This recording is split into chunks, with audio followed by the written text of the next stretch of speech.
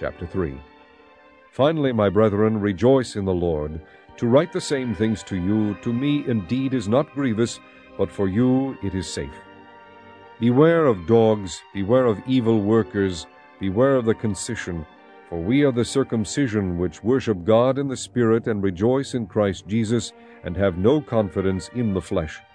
Though I might also have confidence in the flesh. If any other man thinketh that he hath whereof he might trust in the flesh, I more. Circumcised the eighth day of the stock of Israel, of the tribe of Benjamin, and Hebrew of the Hebrews, as touching the law a Pharisee, concerning zeal, persecuting the church, touching the righteousness which is in the law, blameless. But what things were gained to me, those I counted loss for Christ.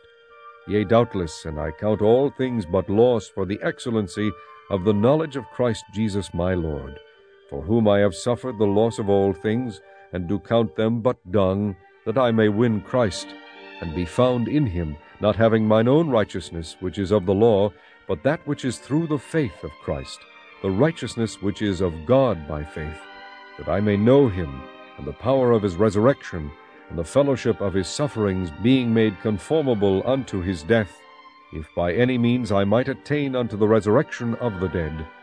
Not as though I had already attained, either were already perfect, but I follow after, if that I may apprehend that for which also I am apprehended of Christ Jesus.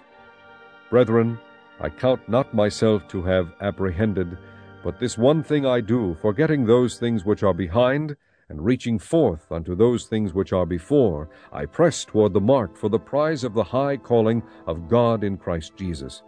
Let us, therefore, as many as be perfect, be thus minded. And if in any thing ye be otherwise minded, God shall reveal even this unto you. Nevertheless, whereto we have already attained, let us walk by the same rule, let us mind the same thing. Brethren, be followers together of me, and mark them which walk so as ye have us for an ensample.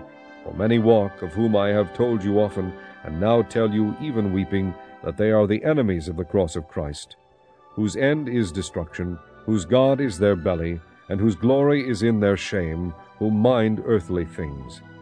For our conversation is in heaven, from whence also we look for the Saviour, the Lord Jesus Christ, who shall change our vile body, that it may be fashioned like unto his glorious body, according to the working whereby he is able even to subdue all things unto himself.